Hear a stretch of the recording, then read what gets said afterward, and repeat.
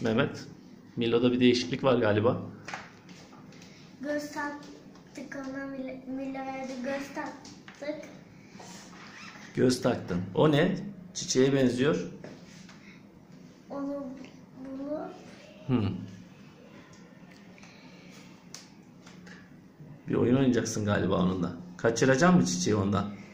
hayır. Kaçırmayacak mı? Ne yapacak? ne yapacak o zaman? Bir çalıştır görelim o zaman hadi ne yaptığını bir göster bize.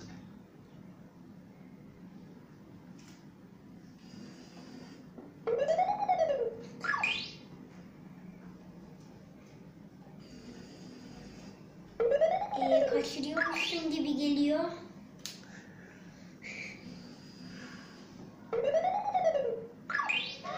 Ah, kötü. Aferin. Yani oyun öyleymiş demek ki. Sen çiçeği kaçırıyorsun. Milo buluyor. İyi hadi bakalım. Görüşürüz.